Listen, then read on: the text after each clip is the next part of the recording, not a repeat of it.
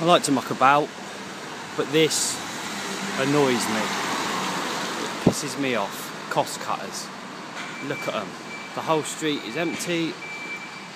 All of that. So they block the disabled parking bays. Is that right? I don't think so.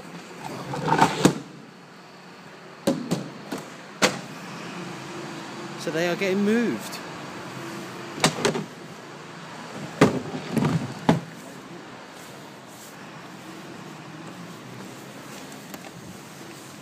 There we go.